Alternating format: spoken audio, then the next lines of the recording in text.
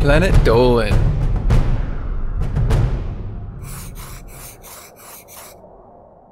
From shitting on a co-worker's computer to screwing the boss's wife, the Planet Dolan crew reenacts some of the best true stories from our subreddit about the craziest things our bosses ever asked us to do.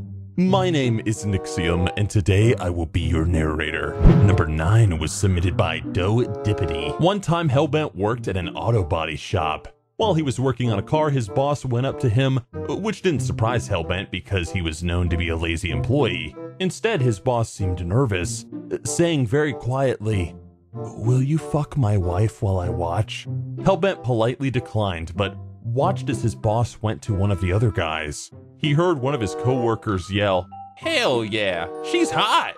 Hellbent believes that everyone but him fucked the boss's wife, since his boss would go to an employee every once in a while to ask.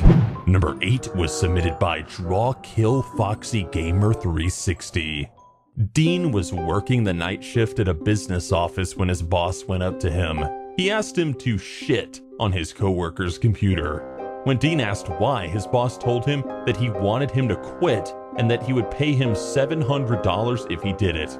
Since he needed the money, and despite the coworker also being a friend, Dean did what his boss asked him to do and took a shit on the computer. The next morning, his coworker saw the pile of shit on his computer and immediately quit. Number 7 was submitted by IDXK3.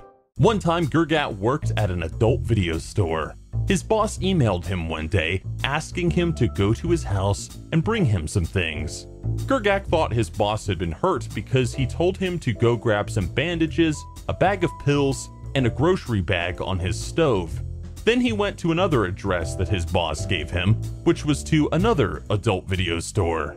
When he got there, Grgak was directed to the VIP room, which is where his boss was. He entered the VIP room and saw a hole on the wall. It turned out that his boss had stuck his dick into the hole, but found out too late that it had been treated by a guy. When he found out his boss had some kind of reflex, getting himself stuck in the hole, so he told Grgak to push it out from the other side. Not wanting to touch his boss's dick, he went to his boss's side and pulled instead. It eventually popped out, and while doing so, his boss hurt his dick and told Grgak to bandage it, which he did. The pills in the bag were Viagra, and the other pills, well, they stopped erections. The grocery bag was full of magazines and some weed, and, well, let's just say this is a job that Grgak leaves off of his resume. Number 6 was submitted by Fluffy Furry 97. Andy once worked in a restaurant with one of her friends, who worked as a waiter. One time, she dropped the food on the floor. When Andy went to clean it up, her friend ran away, and her boss came up and got angry. He blamed her for dropping the food and punished her by demanding that she eat the food from off the dirty floor. If she didn't, she would be fired.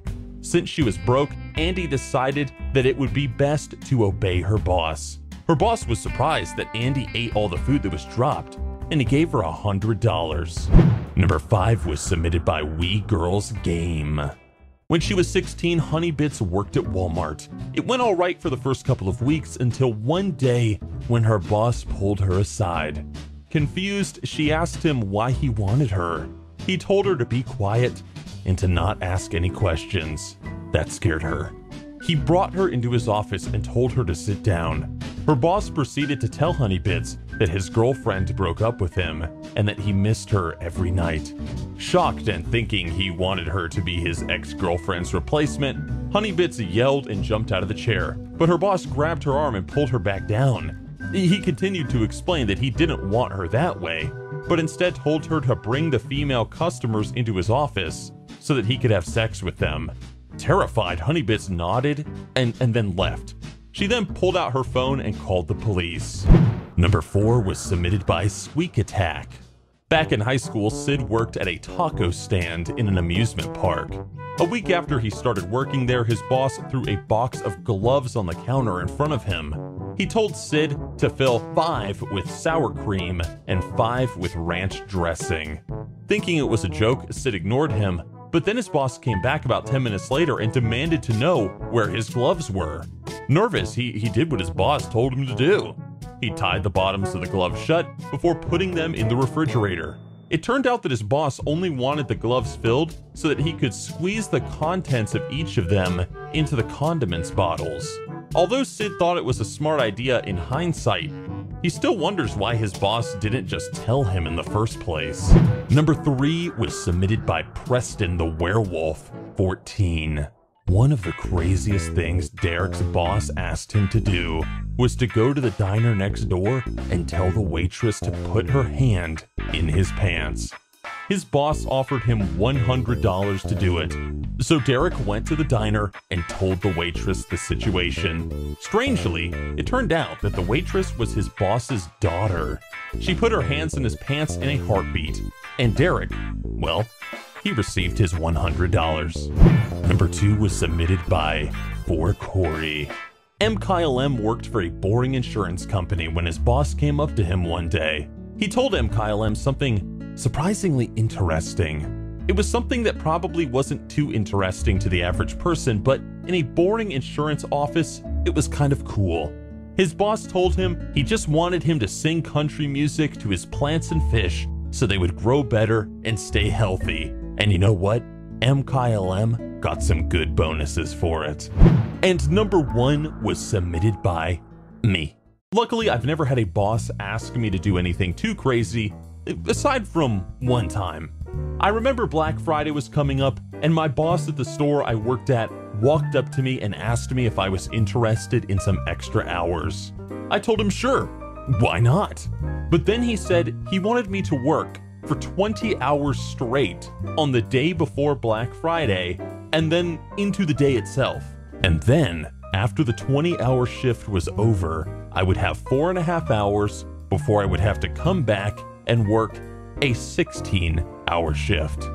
I just laughed and said, Oh, Andy, you're such a joker. But he was not joking. I said no. All right, so a huge thanks to the folks over at our Planet Dolan subreddit for submitting their stories. But we have another question for you.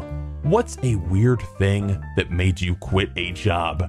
Let us know in the Reddit page linked below, and you might be featured in a future countdown. Planet Dolan is now a video game. Play it as Dolan, Melissa, and the rest of the PD crew collecting shinies to unlock skins and power-ups. Download from the Android or iOS App Store and start racing today for free. Until next time. See ya!